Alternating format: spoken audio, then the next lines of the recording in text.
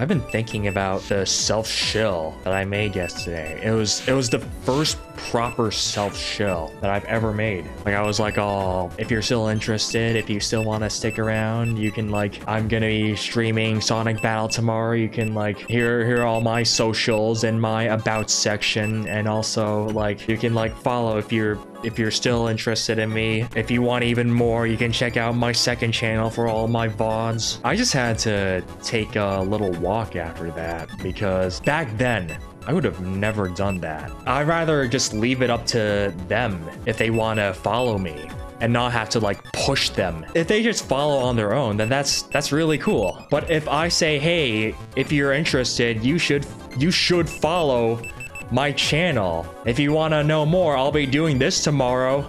You know, I'm I'll be sticking around. You can visit me again, you know? And then they just proceed to not follow or leave, and then it just becomes really awkward for both the viewer and the streamer. And worst case scenario, everyone just feels bad. And that is why I do not self-shill.